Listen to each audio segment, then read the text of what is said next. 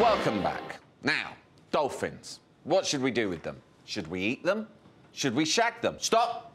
Don't answer. Hush your lovely mouth because there is a third option.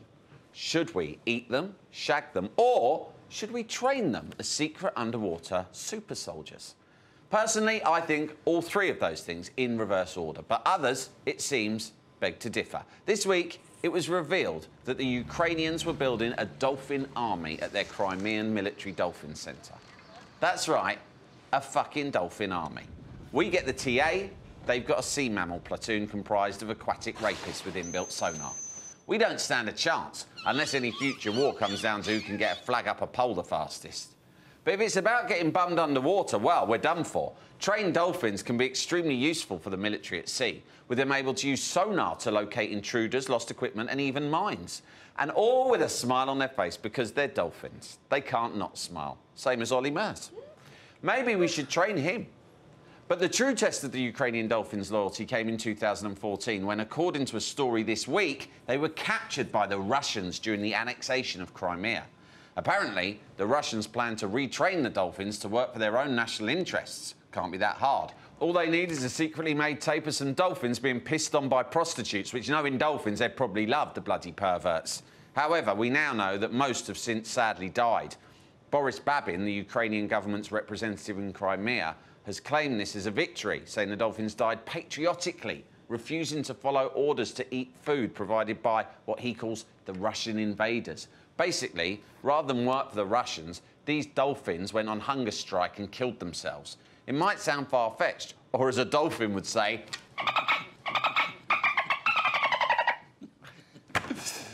The Russians have since shot down this extraordinary claim of Ukrainian aquatic patriotism with Russian Duma Deputy Dmitry Belik claiming it to be mere propaganda and that in fact the combat dolphins were mostly sold to commercial entities. Sounds to me like it could be true. Russians have dolphins for entertainment everywhere.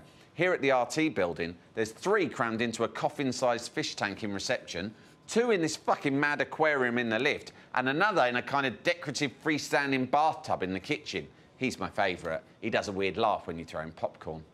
Maybe we'll never get to the bottom of what happened to the Ukrainian super soldier dolphins from the secret Crimean training facility, but one thing's for sure. I'd like to listen to a podcast about it.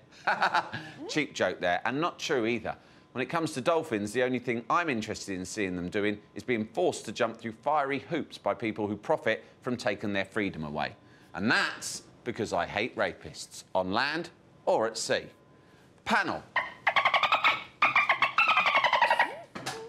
Um, for those of you who don't speak dolphin like me, I just asked, would you trust a dolphin, Marek? Fuck dolphins. Mm.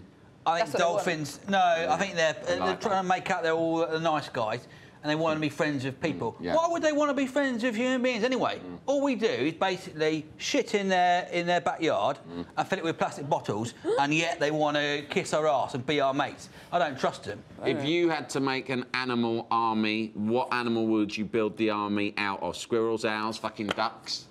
Um, cats. Why? Completely random. Well, because they, you have to work and earn their respect. I'm a crazy cat lady, Mm.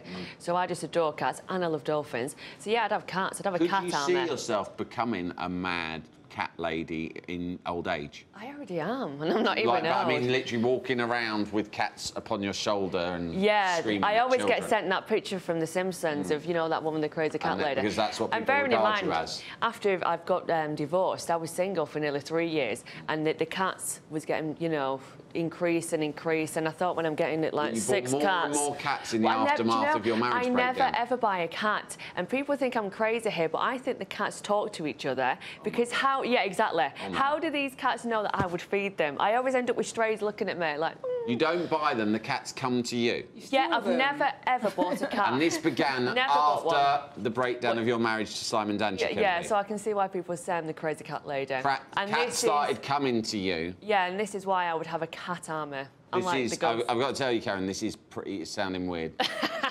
Marek, do you think that's... I think I feel very uncomfortable now. Yeah, I'm you allergic to to cats. So I, no, my nose is itching. I sound completely crazy, more crazy than the dolphin story, but I believe the dolphins.